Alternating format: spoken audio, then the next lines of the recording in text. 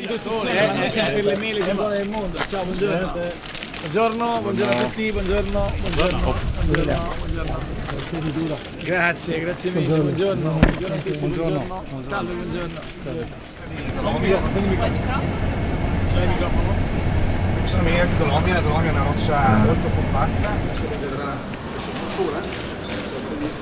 un po' di profumo di neve. Dipendenti, l'80% donne, l'1% chiudendo ermeticamente la porta ovviamente. Quindi stiamo rovinando un po' di mele, queste sono le No. Golden Delicious. Golden Delicious, tutte Golden.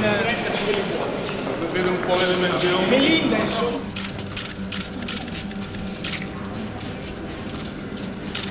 Ale, Questa sta sempre. vai. Posso mettere un piccolo slogan?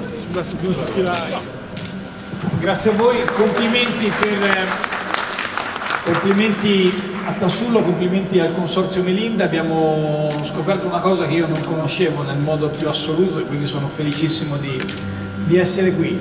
Trovo che questo sia un luogo straordinario perché l'idea che si possa eh, recuperare il 50% dell'energia elettrica diciamo, dal- da una diversa organizzazione eh, del- del- della conservazione degli spazi legati alle mele, che si riesca a intervenire in un settore così importante come questo eh, della, della industria tradizionale con operazioni di innovazione che possono essere sia collegate ai data center, e tutti noi sappiamo quanto sia un tema fondamentale per il futuro, che alle conservazioni di prodotti come la mela credo che sia assolutamente interessante. Se poi pensate che Presidente mi ha dato la mela, la fibra e siamo nel momento in cui l'Italia riparte con l'Expo e non solo con l'Expo, beh, trovo che sia un gesto simbolico molto bello, per cui in bocca al lupo a tutti voi, un unico auspicio, un'unica speranza, un'unica richiesta.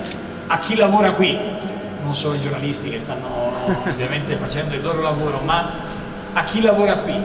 Mm, Leggiamo tante cose in questi giorni per cui l'Italia riparte, non riparte. L'Italia riparte se gli italiani ci mettono il loro impegno, il loro ingegno, la loro fantasia, la loro tenacia. Io l'ho vista qui, visitando con voi questo luogo e vi ringrazio credo che per salvare l'Italia non basterà che ci sia un presidente di provincia, un presidente del consiglio, occorre che ci siano i cittadini. E allora di cuore al consorzio Melinda, a, Tassullo, a tutti voi, non soltanto a Tassullo, Melinda, a tutti coloro che, che- che lavorano qui, l'augurio e l'invito a darci una mano perché l'Italia la rimettiamo in moto insieme. E grazie Ugo, e adesso andiamo che se no facciamo tardi.